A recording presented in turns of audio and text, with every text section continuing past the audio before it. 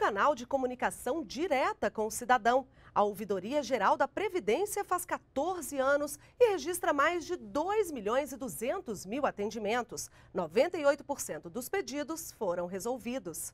Alexandre trabalha no Ministério da Previdência Social.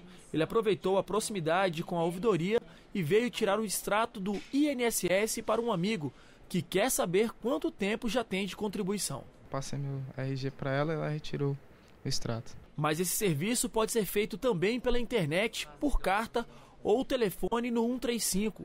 São duas centrais com 1.200 funcionários cada, que são responsáveis por transferir o assunto para a ouvidoria. É aqui nessa sala onde os processos são encaminhados, uma média de 16 mil por mês, entre dúvidas, reclamações e sugestões. Tudo isso leva em torno de quatro dias para ser esclarecido. Casos como o que a assistente de ouvidoria Kathleen Bernardi ajudou a resolver. Satisfação para o cidadão e também para a funcionária. Nós, ouvidoria, ficamos muito felizes em saber que o cidadão vê né, na ouvidoria um meio de comunicação que pode resolver os problemas previdenciários dele. Desde que foi criada em 1998, a Ouvidoria Geral da Previdência já fez mais de 2 milhões de atendimentos. 98% dos casos foram resolvidos. Só este ano foram mais de 103 mil, com quase 80% de demandas solucionadas. E para agilizar ainda mais o atendimento e resolver questões pendentes, alguns ouvidores estão trabalhando em agências do INSS de várias partes do país.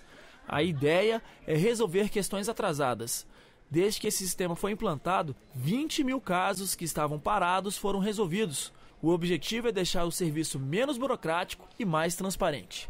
A ouvidoria tem como transparência uma meta.